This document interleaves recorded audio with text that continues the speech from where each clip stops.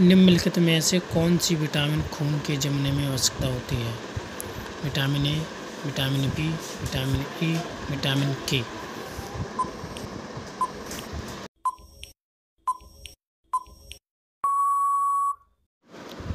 Vitamin K.